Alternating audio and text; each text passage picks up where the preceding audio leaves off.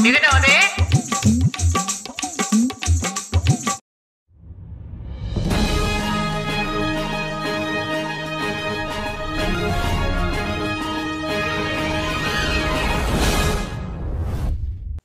ඔබ මේ එකතු සින්නේ යක්ස් TV බ්‍රේකින් නිවස් සමගින්. ඉතින් අ, තවත් ගෑස් පිපුරුමක් සිදුවෙච්ච නිවසක් ගවට අපි ඇවිල්ලා තියෙනවා. ඉතින් ඒ නිවසේ අයිතිකාරය අපිත් එක්ක ඉන්නවා. අපි අහලා බලමු ම ඇත්තටම එදා මොකද්ද උනේ කියලා.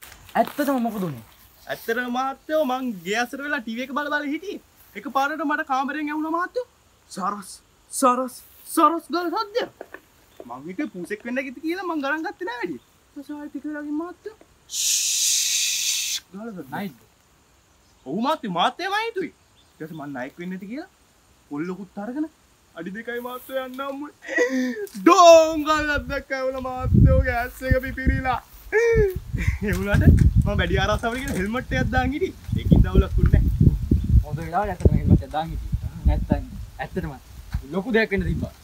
ඔව් ඇත්තටම මේ ගෑස් පිපුරුම් ගැන ඔබතුමාට මොකද්ද කියන්න තියෙන්නේ? මරුණේ මහත්තයෝ. ඇයි? දැන් ගෑස් පොලින් ලෙෆ් ඇයි ඒ විතරත්ද දැන් රුසියාවටත් බවෙන්න නෑ මහත්තයෝ. උගේ මෝටර් මල් දෙන්නෙක් ගෑස් වලින් අම්මපා. ඇත්ත ඇත්ත. ඔබතුමා කියන කතාව ඇත්තම පිළිගන්නවා එතකොට ඔබතුමාට මේ බලන් ඉන්න ජනතාවට මොකද්ද කියන්න තියෙන්නේ ජනතාවට කියන්න තියෙන මාත්‍යය තින් දැ සැපද කියලා තවමාත්‍යයෝ නැද නේ? සැපයිනේ අ, අ, අපි ප්‍රධාන පාලක මහත්‍යල් කුසිය පෙන නැද මාත්‍ය ම මාත්‍යල හින්දම මේ කුස්සිය මේ අස් කරලා තියාගත් නෑ කමන්න මේ. අපි ප්‍රධාන පාලක මැදිරි හා සම්බන්ධ වෙලා පස්සේ දවසක. ප්‍රධාන පාලක මැදිරි හා සම්බන්ධ වෙන ස්තුතියි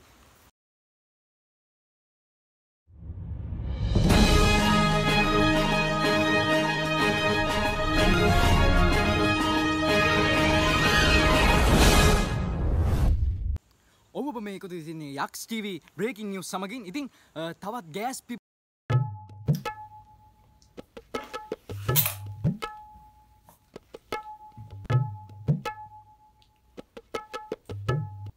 හලෝ මාත් අපි තැංකියු ගන්න ගත්තවාට ඔයාලා මිනිස්සු අපිත් මිනිස්සු. මට මේක කියපන්. හරියට ලයිට් එකක් කියපන් මට. ලයිට් ආවේ නැද්ද මහත්මයා? ලයිට් ආවා. ආයේ ගියා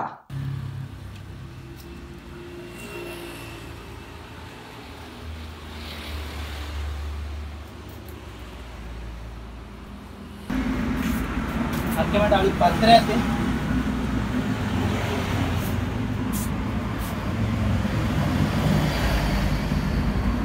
මේ මොකක්ද මේ ඒවා තමා මල්ලි අද හැමෝම ගන්නි.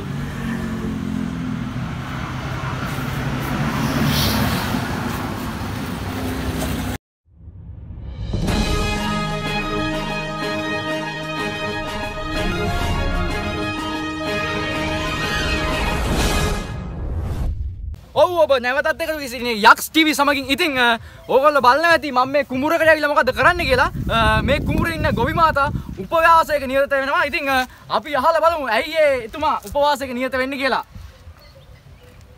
අපිට කියන්න පුළුවන්ද ඔබතුමා ඇයි මෙහෙම මේ උපවාස කරන්නේ? පෝර දෙනකම්ම උපවාස කරනවා. ඒ වුණාට ඉහළ පුටුවල ඉන්නයි කියනවනේ රසායනික පොර වලට වැඩිය කාබනික පොරයි වගා කරන්න වඩාත්ම හොඳ කියලා. එහෙම කියනුන්ට මේ උදැල්ල අරගෙන කරන්න කියපංකෝ කටින් බදල හිටුවන්ට හැමට පුළුවන් මහත්තයෝ. ඒත් මම්මගේ මේ අතින් බදල හිටවන්න කාටවත් බෑනේ. හිතුනොත් මම මේ මඩ හොද රජ වෙනවයකෝ මට හෝදාගත් කළ ගොවියත් රජකමට සුදුසුයි.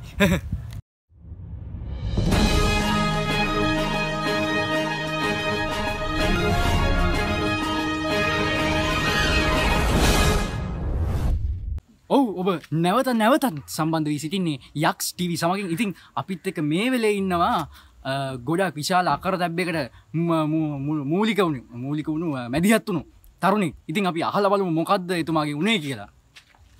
අ, ඇත්තටම ඔබතුමාට කියන්න පුළුවන් මේ අවස්ථාවේ මොකද්ද ඔබතුමාට මේ සිද්ධ වුණු අකර තැබ්බේ? අං අං පාරය ඇද්දී ලස්සන නංගි කෙනෙක් පත්තර ඇඳුමක් ඇඳ නිස්තරහෙන් ගියා. මං ටිකක් ගියාම කිව්ව නංගිට නංගි මුල් පිටුව කියෝල ඉවරයි ඇතුල් පිටුව පෙන්න්නනද කියලා. ඒක කියලා කටගන්න අම්බුන් නෑ මහත්තයෝ. මේ බලන්න වෙච්ච දේ. අනේ මහත්තයෝ. අත්ත මත ගොඩයි ගොඩයි මේ අපේ කාරන්ට දෙන්න නැද්ද? කරන් ආව නැද්ද මතය ලයිට් ආවා. ආයේ ගියා. මහත්‍ය මහත්‍ය මහත්‍යමයි මට හරියටම දැනගන්න පුළුවන් පෝර දෙන්න කවද්ද කියලා මාතේ මාතේ මේ මේ මේ මට හරියටම දැනගන්න පුළුවන් මේ ගෑස් එක හරියට පුපුරයිද කියලා. ආ මම මොකද මේ මගේ යාළුවෙක් ඉන්න මං උට යවන්න මේ ගත්තේ. සල්ලි දීලානේ මාතේ ගත්තේ පිපුරු ඇත්ත හරි නෑනේ නේ.